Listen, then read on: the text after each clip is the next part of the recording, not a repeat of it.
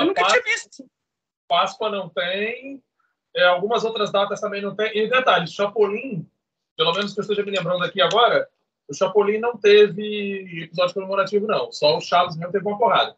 Mas Chapolin, acho que o mais especial mesmo que ele fez foi o homenageando o cinema, né? O show deve continuar, que ele conta aqueles filmes e tal, em seis partes. Mas, em geral, assim, não fez episódio especial do Chapolin, não. Tá, então, assim, então vamos me apresentar, depois vocês se apresentam. Opa aí, pessoal, bem-vindos ao Vitas Podcast, meu nome é Leonardo Spinazato, estamos aqui hoje com o Gustavo Berriel e Eduardo Gouveia. Então, é, quem que vai se apresentar primeiro? Gustavo, claro. Não, é, Edu me apresenta, eu apresento Edu. Pronto. Sim, sim. Bom, Gustavo Berriel, ator, dublador, roteirista, escritor e cambista de ingresso para o circo romano. Bom, excelente profissional há muitos anos. E escreveu peça de teatro, já protagonizou Quem Matou Laura Fausto, que aliás é um texto maravilhoso, e dubla o seu Barriga, Nhonho e todas as demais personagens de Edgar Vivar, e dubla outras séries também, como a Super Máquina e algumas novelas mexicanas. Pô, eu não saberia falar tudo isso. É o maior fã. Ele é o número um dele, ele sabe disso. meu maior amigo, Eduardo Gouveia. Ele é tradutor, né? Traduziu junto comigo Ah, sim. é, episódios, episódios do desenho animado e da série clássica do Chaves e Chapolin.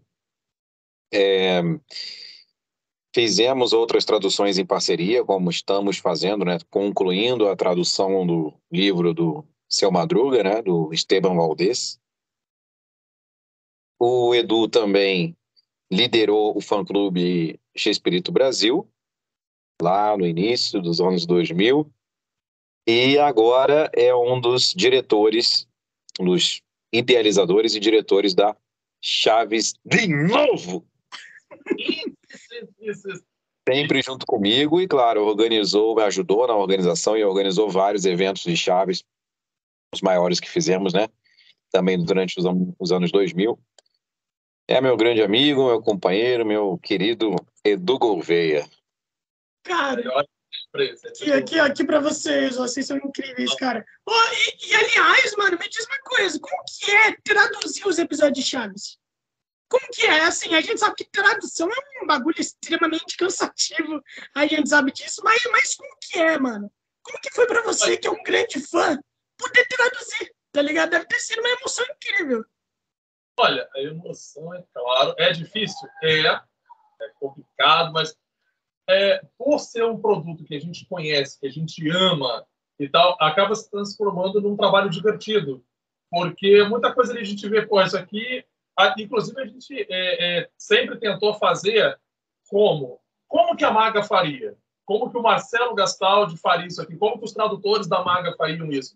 E, e isso teve um- uma resposta porque no dia em que o- as séries foram estrear no Multishow, eles fizeram um evento né, de estreia, o Multishow fez um evento no shopping e tal, até o Vivares esteve presente, e alguns dubladores. E nesse dia, a Marta Volpiani, que é a dubladora da Florinda, e a Sandra Mara, que é a dubladora da Chiquinha, elas vieram falar com a gente que se emocionaram ao, ao dublar o nosso texto porque tinha as nuances da Maga. Sabe? O, seu- o texto de vocês é tão, é tão fácil de dublar, é tão gostoso de dublar quanto o texto da Maga. Nesse dia eu chorei pra caramba. Eu chorei abraçado com a Marta e com a Sandra. Porque, tipo, receber um elogio desse, putz, me senti nas nuvens, né?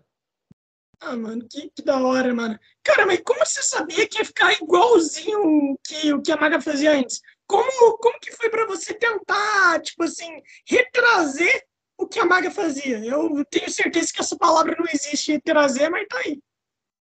É, tipo assim, é, a gente tentava pensar com a cabeça deles, porque a gente conhece tanto o produto, a gente já viu tanto os episódios, e o, o Chapolin não. O Chapolin, por exemplo, assim, cada episódio ele está num local diferente, ele está num espaço diferente, ele pode estar num navio pirata, ele pode estar em outro planeta, ele pode estar na rua, ele pode estar no Japão, ele pode estar em qual- qualquer lugar, e o texto não é tão majoritariamente assim, é, é repetitivo, aquela coisa assim. Já o Chaves não, o Chaves é previsível. Então, a, as piadas são. dá para manjar, mesmo as piadas inéditas, você manja de acordo com o que você já conhece, é uma coisa mais fácil. E puxando do Chaves, você também consegue usar a cabeça deles para pensar no, no Chapolin, o que, que, eles fariam, tipo, como é que eles sairiam dessa enrasca. Uma coisa que a gente bateu muito cabeça é trocadilho. Trocadilho em espanhol para passar para português é um espetáculo, né? Então, tipo, quando chegava algum trocadilho, a gente, como é que a gente sai dessa? A gente perguntava, como é que o pessoal da maga sairia dessa? E aí, tipo, a gente tentava pensar com a cabeça deles, aí surgia alguma coisa. Um episódio específico. A primeira parte do parque de diversões. A Maga tinha feito a segunda parte e a primeira era inédita. Nunca veio para o SBT, o episódio passava sempre pela metade e a gente fez a primeira parte.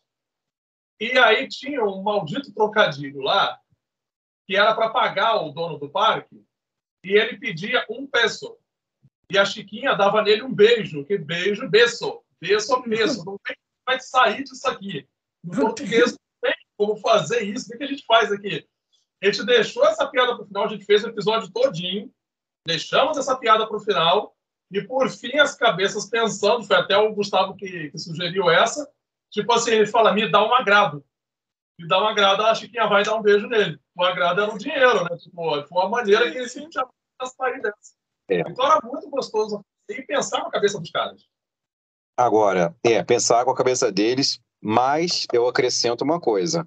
É, a gente elaborou piadas e fez trocadilhos que não foram feitos na Maga, que eles não conseguiram fazer na Maga, porque tem várias questões também. Era um momento de, em que a tradução era mais, era mais difícil, era um outro momento, né?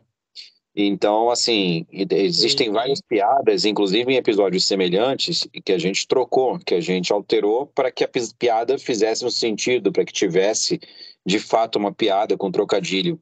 Então, a gente conseguiu fazer isso com muitas, muito, em muitos episódios, né? consertar ou inovar né, com piadas que a Maga não conseguiu fazer, não teve como fazer na época. E outras coisas, o, o tipo de texto, né, o tipo de, de construção frasal, né, da própria sintaxe, né, do uso do, do, vocabulário, a gente resgatou tudo da Maga. É tudo muito fiel à Maga, especialmente fiel no, no, no Chaves e no Chapolin. E ainda conseguimos adaptar piadas inéditas e trazer outras que tinham semelhanças, né, nos chamados episódios semelhantes, que eram são episódios inéditos de qualquer forma, a gente trabalhou piadas com outro outro sentido. Conseguiu inovar nesse sentido também, até para não ficar tudo idêntico, né? Para não ficar tudo igualzinho, só copiar. Não, a gente pegou o principal, que na verdade é o texto, é o tipo de texto, e em algumas piadas a gente modificou. A gente conseguiu atualizar, a gente conseguiu colocar o trocadilho em português, como não havia em espanhol, como várias piadas não têm sentido, não fizeram sentido na maga, é, a gente conseguiu reverter isso na nossa tradução. Foi uma tradução ao mesmo tempo fiel, né, ao que já está consagrado pela maga, e também inovadora. Então foi uma tradução uhum. completa, completíssima, porque a gente conseguiu inovar também com muitas piadas. É, é, é todos esses detalhes, né, essas piadas, exatamente quais são, a gente, a gente ainda vai. A gente já falou algumas, né? Na Chaves Novo a gente posta de vez em quando algumas. Mas a gente vai elencar isso, né? Vai colocar isso numa listagem no, durante as nossas lives, né, Edu? Dos, do chamado definitivo que a gente está produzindo. Que a gente vai falar de cada episódio, da dublagem de cada episódio e das, dos acontecimentos de cada um. E aí vai ficar mais evidente isso tudo que eu estou falando aqui. Ah, mano, que legal. Sim. Cara, vocês, vocês tiveram acesso às, aos, às traduções anteriores também? Tipo assim, é, tem as folhas, né? Onde os caras traduzem coisa do tipo. E daí eles te deram, assim, as folhas também para vocês poderem comparar bagulho do tipo, ou não? Ou vocês não, nunca tiveram gente... essa referência? Não, não. O que a gente tem, é o que a gente teve nesse trabalho foram as, a, a transcrição do texto no original porque a Televisa, quando vende um episódio, eles vendem a fita com o material e vendem a transcrição do episódio em espanhol. E a partir dali, a gente usa o texto e o áudio do episódio em espanhol para traduzir. A gente trabalha com áudio e com texto. É, a gente A gente não fez redublagem, né, como muita gente acaba pensando. O que a gente fez foi a dublagem de episódios inéditos, e dentre esses episódios, muitos é, com um enredo parecido, com piadas parecidas que se repetiam, né? Por isso que eu falei que a gente mudou alguma coisa, porque tinham episódios com piadas parecidas. Mas o que a gente fez foi é, traduzir e dublar episódios inéditos que o SBT nunca tinha passado, né? E colocar o que o Multishow exibiu toda a dublagem maga, que foi possível, né? Que eles tiveram acesso. E além disso, a dublagem nova dos episódios inéditos, para completar a série, as duas séries inteiras. Uhum. Isso. Cara... O, SBT, o SBT, eles tinham lá 240 episódios do Chaves e 150 do Chapolin. O Multishow comprou tudo isso já dublado e o restante que nunca tinha sido dublado foi o que ficou para a gente fazer. Agora, só complementando uma coisa que o Gustavo falou, que é interessante que a gente ainda vai falar isso mais à frente, é, dessa coisa da gente ter melhorado algumas coisas e tal, aconteceu um caso interessante.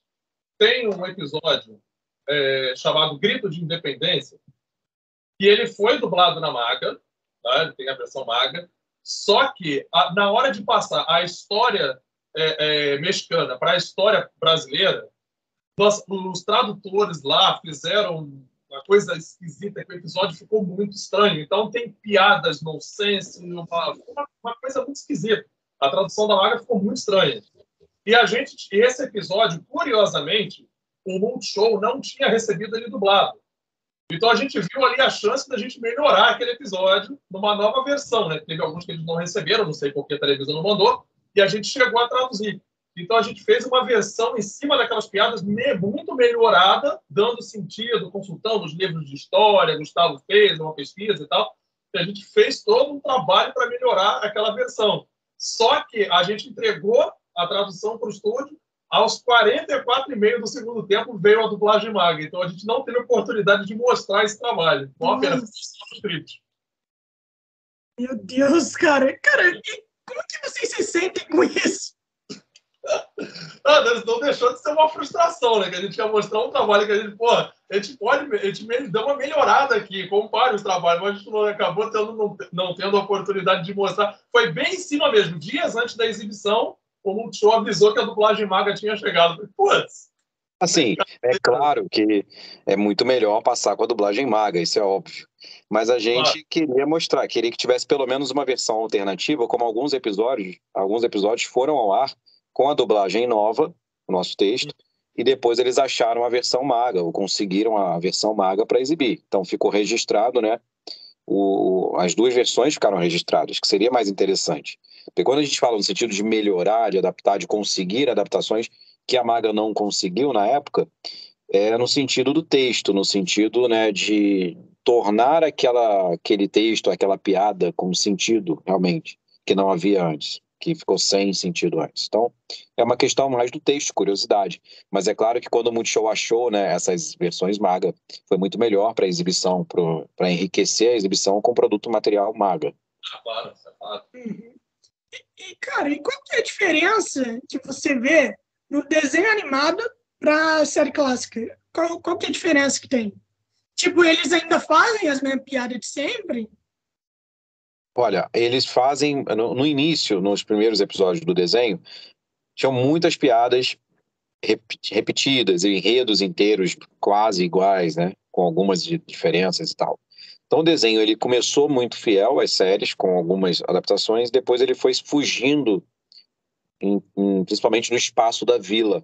Então você tem vários episódios que saem da vila, né, na terceira, quarta temporada em diante, e aí você já tem aquela imaginação solta para o desenho, todos os acontecimentos, todas, outras situações totalmente fora da vila, né, e outros cenários que você pode fazer no desenho animado que a série antigamente não permitia. A primeira e a segunda temporada elas são mais baseadas nos episódios mesmos. Assim. até títulos de episódios praticamente iguais, mesma história, né? Então, mas é claro que sempre teve uma adaptação ali do, de botar o, a, o nhonho, né, aparecendo mais do que a Chiquinha, que no caso não tinha a Chiquinha. Então, no caso, o nhonho meio que pegou ali o, o lugar dela. Se bem que é o nhonho mais dos anos 80, que ele aparecia, não tinha o Kiko, então ele já tinha maior participação de qualquer jeito. Mas por que não tinha Chiquinha? Conta essa aí, Edu. Questão de direitos autorais. É, há anos que a, a Antonieta tinha uma briga com o Bolandes, né, por causa da, do direito da personagem. Ela, ela chegou a registrar né, a Tilindrina. Ela, é, ela registrou Tilindrina ou Tilis, que eu não lembro. Tilindrina, né? Ela conseguiu registrar Tilindrina mesmo. Tilindrina, exatamente. E aí ela tinha que entrar numa negociação, a partir daí, né, a personagem é dela, ela tinha que entrar numa negociação com os produtores do desenho e não houve esse acordo. Então a Chiquinha ficou de fora, porque a personagem não pertencia mais ao Bolanhos. Ah, nossa, velho, mas sei lá. Ah, eu não vou falar o que eu acho disso. Eu acho isso, na verdade, na verdade eu acho isso muito mancado, na moral. Sim, tem isso... várias. É porque tem várias questões envolvidas aí. Por exemplo, é, houve uma tentativa, essa é a minha visão, tá? A minha visão é que ela tentou por diversas vezes contato com o X-Espírito para tentar resolver essa questão. E, assim, tô, dizendo assim, a versão, né, que ela já contou e que é que eu entendo como correta, porque realmente ela não conseguia entrar em contato com ele para conversar sobre essas questões. É, ele era blindado né, de, de várias situações e tal. E ela não conseguiu entrar em contato e, e, e de repente ela viu que a, que a Chiquinha, que, né, que os direitos da personagem estavam liberados. Qualquer um pod poderia registrar qualquer pessoa poderia registrar. Então, quando ela viu essa situação, ela aproveitou né, a ocasião para fazer logo o registro. Eu não estou dizendo assim, ah, ela poderia ter conversado, conversado, comunicado. Eu acho que sim. Tá? Eu, eu não digo assim, ah, um está errado, outro está certo. Eu acho que os dois erraram pela questão da falta de diálogo, mas é, eu tenho certeza que ela foi atrás, ela tentou procurar e por diversas vezes ela não teve acesso, simplesmente um acesso a ele que é complicado, porque eu digo isso porque eu sei que já aconteceu com outros atores do elenco. De fato não conseguiram, em algum momento, não conseguiram simplesmente falar com ele. E aí, isso complica, né? A questão do diálogo. Eu não acho que assim, ah, ela está certíssima de ter feito isso, ou ele está errado, está certo.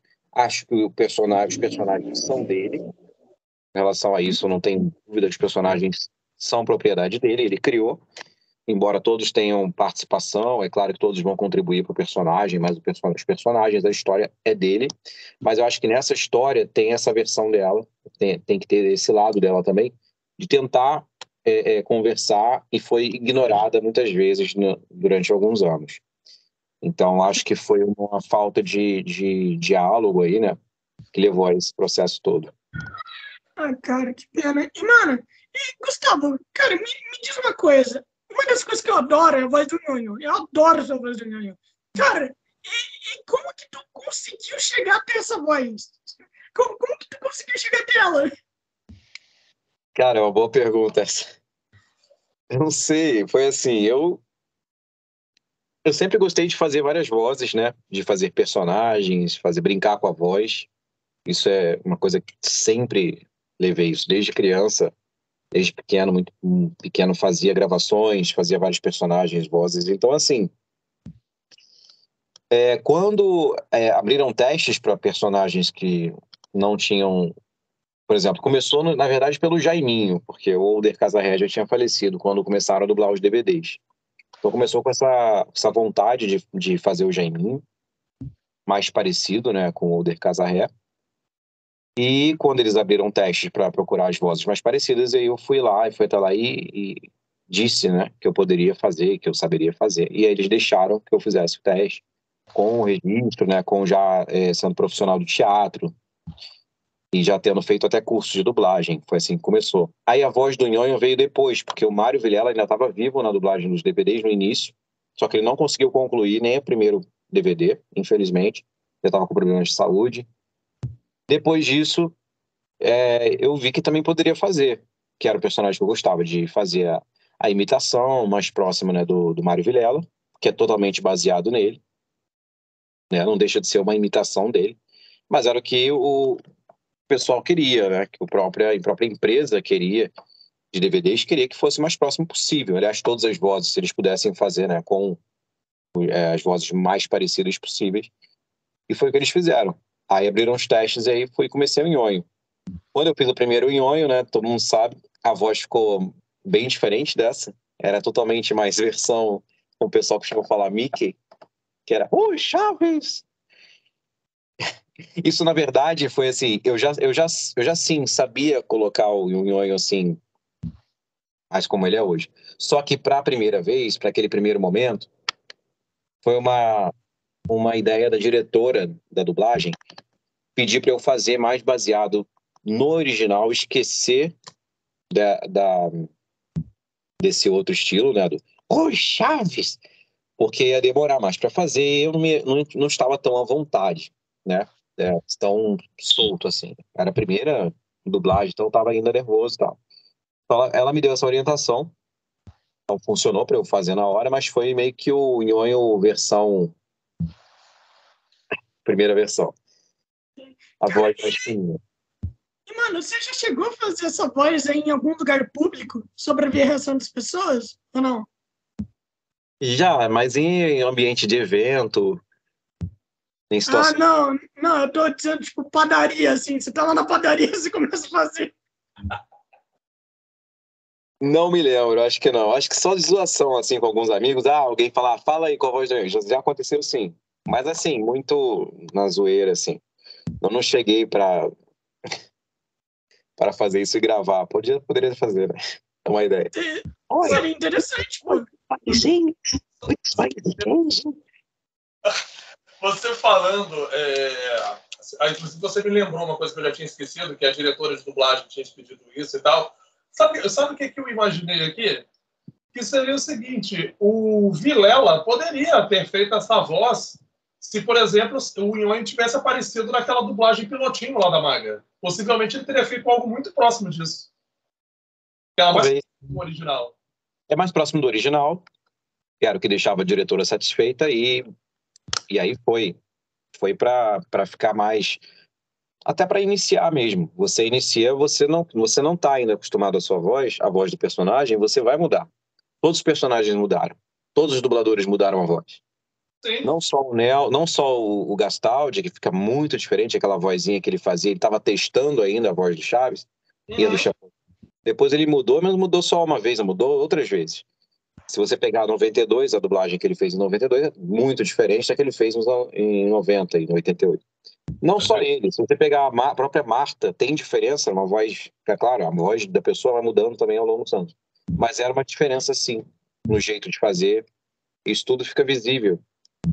Todos os, os atores, dubladores, eles acabam acertando a voz. Das primeiras temporadas, você ainda está acertando eles, né?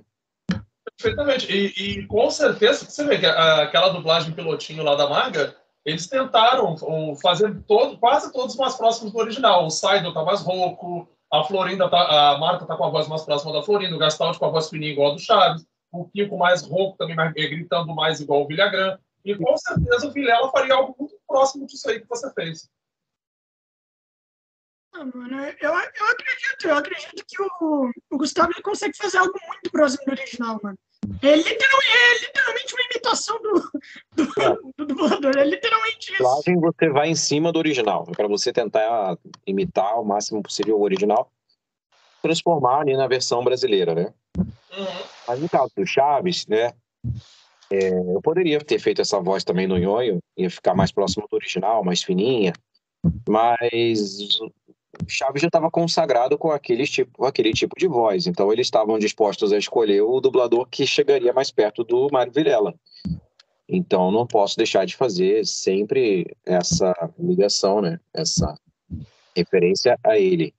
Assim como depois o Daniel fazendo o Chaves, ele tenta se aproximar o máximo possível do Gastaldi e o Chapolin. Cara, e aliás, Gustavo, aliás, você fez duas coisas clássicas, né, mano? Chaves e Pokémon, né? E, cara, e, mano, e, e me diz, tu também assistia Pokémon quase quando você assistia Chaves também? Ou não. Pokémon não fez parte da sua infância? Fez parte, né, eu já não era tão criancinha, era criança, né, mas não era tão novinho. Mas o meu irmão mais novo, ele era super fã de Pokémon, então assistia com ele.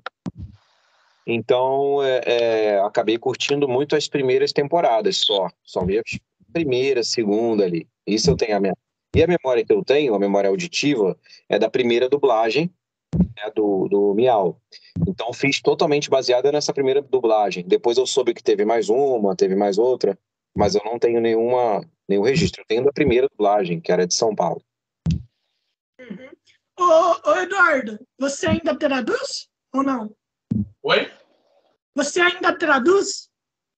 Olha, uh, no momento eu tô fazendo só o livro do Esteban Valdez com o Gustavo. Está traduzindo junto. O livro vai ser sobre o seu Madruga, né? Sobre a vida do Ramon Valdez. O filho dele escreveu e a gente está traduzindo. Que legal, mano. Isso daí é da hora, mano. E como que tu tem contato com o Ramon Valdez? Tipo assim, com a galera do Ramon Valdez? Se não me engano, ele já morreu, né? O Ramon já. Os filhos dele estão vivos. E através da Chave de Novo, a gente foi chegando até eles. O Gustavo foi, foi fazendo uma amizade. Nós fizemos live com eles, inclusive, né, a Carmen Valdez e o Esteban Valdez. E aí, ele, numa dessas, ele comentou que ele estava escrevendo livro e tal. E acabou convidando a gente. Quando ele soube que a gente fazia esse tipo de trabalho, ele acabou nos convidando. É, a Chaves de Novo está totalmente envolvida com a versão brasileira do livro. Gustavo e eu estamos traduzindo. E o Rafa Lemos, que é o nosso cartunista, ele fez a capa do livro. Oh, mano, que, que da hora, mano, que da hora. Isso daí é legal, mano, isso daí é legal. Quanto tempo assim que vocês estão traduzindo já? Claro, se tu puder falar, né, mano, se tu puder falar. Olha, tem o quê? Uns seis meses? Por aí? É, por aí. A gente também vai ter é, capítulo inédito nessa versão brasileira. Vai ter um capítulo inédito assinado pela Chaves de Novo. Arte inédita do Rafael Lemos também, que não foi para a versão original. Então vão ter surpresas aí nessa versão brasileira. Ah, mano, que, que da hora, que da hora. Mano, ó, da gente fazer um capítulo, né, assinado pela gente, consultamos o Esteban e ele super aceitou. Quando ah, sair, a gente faz uma, marca uma outra live aí. Pô, mano, que legal. Oh, aliás, o Gustavo parece o tipo de pessoa que sai por aí conversando com todo mundo e criando amizade com todo mundo. é isso mesmo. É isso mesmo? Ah, cara. Ele conquista as pessoas no olhar, então ele tem essa facilidade. Ah, também né? ele tem belos olhos, pô, muito fácil fazer isso. Cebolas, alhos. Cebolas, alhos. Cebolas, alhos. Belos olhos. Ô, mano, a gente, a gente já tá chegando aqui, né? Quase nove horas, já tá dando quase nove horas. Eu sei que vocês não têm tempo pra caralho, né? Pra ficar aí e tudo mais. Então, então a gente vai fechando por aqui, beleza pra vocês daí? Bora! Você que sabe, você que manda. Ah, então beleza, então beleza. Então a gente vai fechando por aqui. Cara, e primeiramente, é, muito obrigado por terem aceitado. Vocês sabem que eu admiro muito vocês em tudo que vocês fazem, vocês são incríveis. E, cara, eu até falaria, pô, gostaria de falar com o, com o filho do Ramon Valdez, só que eu sou péssimo em espanhol. Então não vai dar, não. Cara, e ou ele, ele com certeza não é brasileiro, né, mano? Então não vai dar, não. Até porque você tá traduzindo, né, mano? Você nem precisaria traduzir se ele fosse brasileiro. Então. Tentar fazer uma, fazer uma live nós quatro. Exatamente, exa pode ser. Oh, mas vocês sabem espanhol? Sim. Sim? Sabemos bem. Ah, é verdade, verdade. É, se traduziram, fui meio burro agora, né? Desculpa pela pergunta. É que, é que sei, sei lá, quando a galera fala traduzir, eu penso o pessoal lá no Google Tradutor, traduzindo ponto por ponto, tá ligado? E, mano, tradução é difícil, por conta que eu traduzi um, um podcast inteiro, tá ligado? Pra botar na legenda, traduzir os meus e o da pessoa. E, mano, foi uma hora de conversa. Então, é um bagulho complicadaço. Né? É. Durou, demorou três dias pra é, mim. A tradução ela é acompanhada de uma adaptação, né? É a versão brasileira, no caso da tradução para dublagem. É diferente de uma tradução comum de um livro. A tradução da dublagem é diferente da tradução que a gente está fazendo do livro, embora também tenha toda uma versão brasileira das histórias do Ramon e tal, mas ela é mais fiel, digamos assim, ela não tem muita. Até porque não, tem, não teve esse trabalho todo da maga de transformação de bordões e tal. Então é uma tradução diferente. Tradução literária, né, da literatura, é uma tradução diferente da tradução de dublagem. A dublagem também tem que pensar na sincronia, no tamanho das frases e tudo mais. E, cara, e e tem um bagulho também que eu pensei que é o seguinte, sempre que eu vejo alguma coisa dublada e depois, sim, e depois eu falo assim, ah, não tô muito afim de ver dublado, vou ver legendado, eu reparo que a legenda e a dublagem são praticamente a mesma coisa, né? E daí eu queria saber o porquê eles são iguais. Tipo, os caras vão lá e botam só uma, uma detectação de áudio para fazer a legenda? Como é que funciona? Por conta que é literalmente a mesma coisa. Você não precisa fazer literalmente a mesma coisa na legenda, né? Não, mesma coisa que a dublagem. Não é, não. Olha, olha só, tem a dublagem. A, muitas versões legendadas são muito diferentes da versão dublada. O que pode acontecer é você ter aquele closed caption, ah, que é a reprodução do que está sendo dito, a reprodução fiel do que está sendo dito. No caso de uma versão brasileira, tem uma pessoa que escuta a versão brasileira e faz a transcrição de tudo que está sendo falado na dublagem, aí fica igual. Mas a, o texto da, do tradutor da dublagem é um trabalho, o texto do, tra, do tradutor para legendagem é outro trabalho. Eles nem se conversam. Então, assim, ah. na maioria das vezes, você pegar um filme, a legenda original, pegar lá aqueles filmes. Pega a legenda mesmo do original, lá da fita VHS, que tem aquela legenda que já tô. Você vai ver que a legenda é muito diferente da dublagem. Muitas palavras, muitas expressões, inclusive mudam muita, muitas coisas. Então, é, existe o closed caption, que é a reprodução do texto já pronto, e o texto da legenda, que costuma ser bem diferente tá, da dublagem. Até porque na dublagem, muitas coisas são feitas e alteradas na hora. Aliás, é bom lembrar isso aqui. Na, na, na nossa tradução do, do, do Chaves e do Chapolin, muitas coisas que a gente colocou, que a gente usou, elas não foram para dublagem na hora, não foram dubladas por conta de mudanças da direção ou do próprio dublador, quando tem uma ideia para caber melhor. Ah, ele fala, posso fazer assim? Posso falar dessa forma? Mudar um pouquinho, né? Ou então mudar mais, mais textos e tal. Isso acontece muito na dublagem. Então não é uma. O texto final não é 100% do tradutor. Tem uma, uma, uma mudança no caminho, que é do diretor e tal. Cara, então, para a gente acabar aqui, eu gostaria de perguntar para vocês se vocês pudessem criar um episódio de Chaves do zero, qual seria a ideia que vocês teriam? Episódio do Chaves ou episódio de Chapolin também? Ah, não, Chapolin eu vou tirar, eu vou tirar Chapolin, vocês vão falar do Alma Negra, então eu vou tirar, então eu vou tirar isso e vou, vou deixar só de Chaves mesmo, pra garantir. Não, eu posso falar do Chaves, o Edu fala um Chapolin se ele achar que Pode lembra ser. de Chapolin.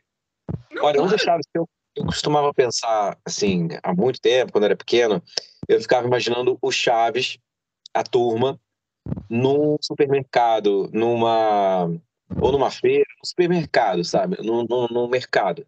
E ali várias situações deles comprando as coisas, eles escolhendo as coisas para comprar, fazer suas compras, sabe? Ou, uhum. ou na venda da esquina. Eu queria vê-los fora da vila, nesses ambientes de mercado. Eu ficava imaginando que eles iam aprontar as situações todas, esse, tipo o mercado, mercadão mesmo, né? Que eles fossem fazer suas compras. Aí você imagina 500 situações. Ah, mano, seria muito bom, mano. Seria muito da hora. Eu já, já até consigo imaginar o episódio. Já dá pra imaginar? Eles escolhendo já. comprar. É dele chegando, dele chegando no mercado, e daí eles encontrando o Kiko tudo mais. É, dá pra encontrar todo mundo, da hora. É, bem isso, bem isso aí. Eduardo? E no caso do Chapolin, é, eu, gost... eu sempre quis ver muito alguma coisa que fizesse um, um retrospecto da, da, da, personagem, porque o Chapolin, às vezes, ele cita, ele cita o, o passado dele. Tipo, é, ele já conhecia o Tripa Seca desde que, era, desde que eles eram crianças. É. Ele, ele, ele... agora, eles eram amigos de infância. Aham, uhum, tipo, então eu gostaria de ver essa, esse retrospecto da série de, de, quando ele era criança, adolescente e tal. Acho que seria muito interessante um episódio que tratasse disso, a vida do Chapolin no passado. Flashbacks, ah, né? É seria interessante mais, mais flashbacks do Chaves. Só tem aquele episódio das recordações mas seria interessante ver mais cenas de flashback do, do Chaves também. Isso. O seria interessantíssimo, mostrando ele lá, amiguinho do Tripa Seca. Né? seria bem. Mano, que da, mano, que da hora. O, o episódio que eu queria ver é da turma do Chaves andando pela cidade inteira, ou, ou fazendo tipo um road trip, tá ligado? Pela cidade e tudo mais. Eu acho que seria bem legal, por conta que eles nunca saíram direito da vila, né? Tipo, só pra ir pra, pra Acapulco. Acapulco e alguns episódios, tipo, no parque, uns episódios assim, mas são raros. É, vocês sabem por que eles nunca saíram? Porque nunca decidiram sair? Tipo assim, eu acho que ali muito na vila é, funcionava, muito aquele universo da vila funcionava, e ele, o Bolanhos decidiu que eles deveriam sair da vila depois que o Villagrán e o Ramon saíram da série. Porque ele já não sustentava muito mais ali os roteiros da vila. E aí ele resolveu fazer episódio no parque, no restaurante da Dona Florinda, na casa do seu Barriga. É, enfim, eles resolveram sair um pouco ali do ambiente. E até que foi bem legal. Depois que eles começaram a fazer isso, a série ficou bem legal. Embora a maioria das pessoas diga que detesta a fase do restaurante. Mas, tipo, eu achei que ficou bem legal. E principalmente o episódio de Natal na casa do seu barriga, o parque é muito maneiro. São episódios bem legaisinhos, mas eu acho que, por conta desse tema, funcionava muito ali na vila. Depois que não tinha mais os dois pilares de sustentação, ele resolveu tentar a sorte ali fora. É. Mas olha, o Chaves, a alma do programa, e é mais um personagem central, é a própria vila. Né? O cenário é um personagem, inclusive interage com todos interagem com o cenário. Então, assim, ele foi criado para ser feito ali, naquele universo na vila, né? É, é, sair dali não é simples. Ele só saiu dali depois de um tempo da série. Ele já tinha o cenário da escolinha e tal, mas pra, já era uma ideia de mostrar os, os, as crianças na escola e tal. Mas, assim, é, é a vila é tudo ali na série, né? Então, tirar é, é só em ocasiões especiais mesmo, né? Tirando um episódio ou outro que eles estão, eles vão, saem e tal. E, mas a vila é o centro ali, é o universo que está ali. E a, e a série fala sobre situações cotidianas, situações banais do dia a dia de uma vila. Não importa também para eles, não importa muito a cronologia. Se a gente parar para pensar, não tem assim uma continuidade, nem, não tem nenhuma continuidade né? Ah, eles fizeram isso, semana que vem, ano que vem, eles estão em outro lugar. Isso é muito tímido na série. Né? Essa, essa contagem do tempo ela não existe, tanto que os personagens estão sempre no mesmo tempo. Seu Madruga deve sempre 14 meses. Esse tempo ele é meio tipo um desenho animado, né? Que não tem essa coisa de contagem, de, de usar certinho. É um universo ali deles, onde as situações acontecem. Claro que com o tempo há uma evolução de cenário, os personagens também vão mudando, mas ele não se preocupa muito em contar o que, que a gente fez ano passado, ou aquela, aquela vez que a gente foi. Ele não, eles não fazem referência a outros episódios, né? Como acontece em várias séries, fazerem referências ao que aconteceu antes.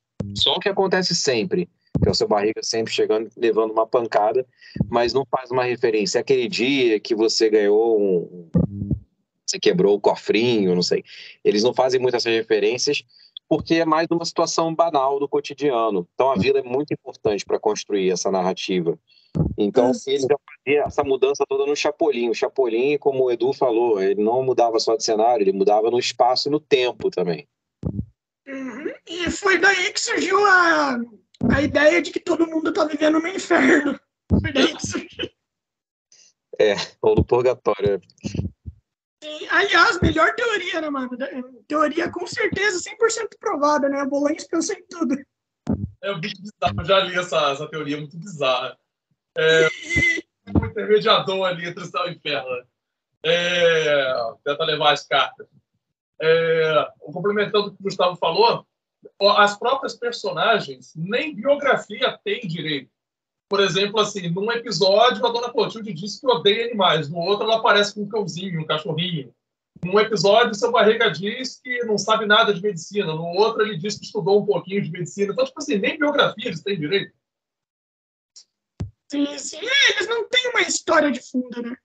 Então, é, eu acho que isso aqui é legal, é, despre... é, tipo assim, você se soltar, tá ligado, da história, de tudo, e apenas fazer o que você você quer fazer, por conta que hoje em dia tudo se leva muito a sério, né? Então isso pode ser um pouquinho ruim também para algumas coisas. É, é, então, momento, o que, que esse roteiro aqui que eu estou fazendo agora está pedindo? Não está pedindo isso? Então bora, vamos escrever isso. Não, se eu gosto do que eu tá dizendo, não interessa. Tipo, eu não tô nem aí. Sim, sim. Mano, então, então é isso. A gente vai acabando por aqui. Cara, muito obrigado por terem, por terem aceito. Eu já falei que eu adoro vocês dois. Muito obrigado por terem participado. Hoje, hoje é. Hoje é segunda, né? É, então o podcast de vocês vai estar na quarta-feira, daí eu mando tudo para vocês. E é isso, muito obrigado. E em breve a gente se fala novamente. Então é isso. Muito obrigado. Valeu. Foi um prazer mais uma vez estar aqui contigo. Muito obrigado.